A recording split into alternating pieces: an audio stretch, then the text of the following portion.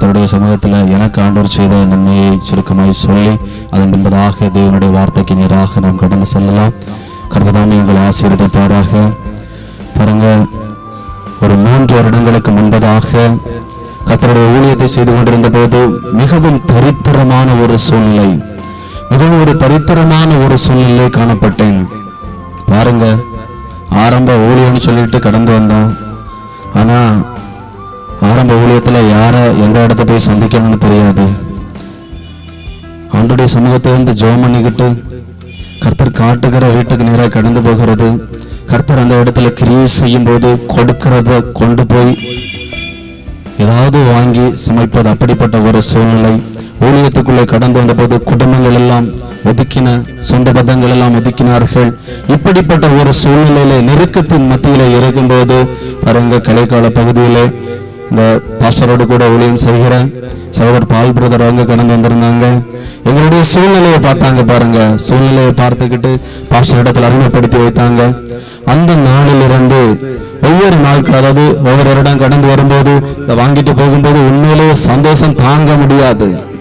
என் வீட்டில் என் அம்மா எல்லாம் சொல்லுவாங்க இது எங்க இருந்து கொண்டு வந்த எங்க இருந்து கொண்டு வந்த? அப்படின்னு. ஆண்டவர் எனக்கு தந்த படி அப்படின்னு சொல்லுவேன். பாருங்க கர்த்தர் எனக்கு தந்தபடி கிறிஸ்துமஸ் எனக்கு தந்தது.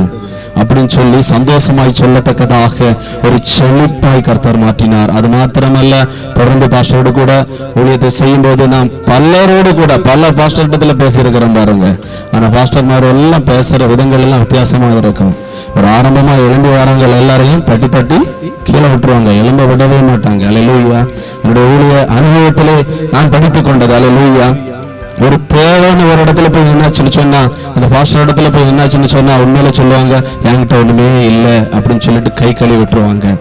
நம்மளை எழும்பவும் விட மாட்டாங்க ஒரு ஆலோசனை சொல்ல மாட்டாங்க. நமக்கு ஒரு போராட்டம் ஒரு பிரச்சனை ஒன்று வந்து விட்டால் பாருங்க சும்மா இருக்க மாட்டான் சும்மா பிசாசு துரத்த போறான். அதனால எனக்கு குடும்பத்தில் இப்படி வருகிறது என்று சொல்லி குற்றம் சாட்டும்படியாக திரளாக இருந்தார்கள் ஆனால் பாஸ்டர் வாரத்தில் ஒரு ரெண்டு நாள் மூணு நாளாவது ஃபோன் பண்ணி ஊழியம் எப்படி இருக்குது உங்களுடைய காரியம் எப்படி இருக்கிறது அது மட்டுமல்ல சோர்வான நேரங்கள் எல்லாம் உற்சாகப்படுத்தி ஒவ்வொரு நாட்களிலும் ஊழியத்தை குறித்து ஊழியக்காரர்கள் எப்படி இருக்கணும் எப்படி நடந்து கொள்ள வேண்டும் ஒவ்வொரு காரியங்களையும் கரிசனையாய் சொல்லிக் கொடுப்பதிலே உண்மையிலே எனக்கு ரொம்ப சந்தோஷமாக இருக்கிறது. இந்த இடத்துல ஆண்டவர் படிப்படியா உயர்த்தி கொண்டு வர்றாருன்னு சொன்னா உண்மையிலே ஆண்டவருடைய நாம மகிமை அடைவதாக அலையா இந்த ஊழியத்தோடு கூட சேர்ந்து செய்ய ஆரம்பித்த நாளிலிருந்து கர்த்தர் உண்மையிலே என்னுடைய வாழ்க்கையில ஆவிக்குரிய வாழ்க்கையிலும் சரி பூமிக்குரிய வாழ்க்கையிலும் சரி கர்த்தர் ஆசீர்வதி ஆசீர்வாதம் தந்து கொண்டுதான் இருக்கிறார். அது எனக்கு மாத்திரம் இல்ல தோட்டத்தில் நிறைய பேர் இருக்கிறாங்க. அலையா ஆனால் என்ன சாட்சி சொல்வதற்கு கொஞ்சம் வெக்கமாக இருக்கலாம்.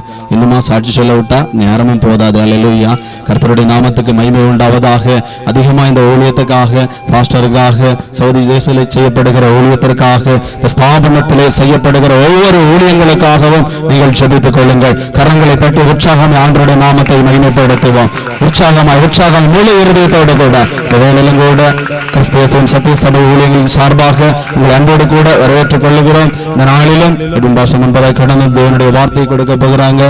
இந்த கூட காணப்படுவோம் கர்த்தர் நம்மோடு நிச்சயமாய் பேசுவான் அவர் பேசுகிற தேவன். அலலுயா அலலுயா அலலுயா